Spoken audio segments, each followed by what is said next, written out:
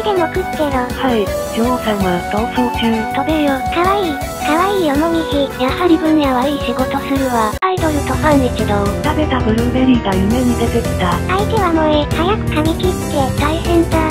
悟りが、悟りが倒れた。私は鳥よ。魔力で飛ぶ。この後、風邪ひいて寝込んだ。メッセージボトル、アイス。食べられたから、プリンを食べ返すとこの反応。エミリアに休みをくれるよう抗議して。東方用霊夢。かわいいですね。ゆうゆ様、マリサとのバトルをリベンジしに来た。切れるものなど、な。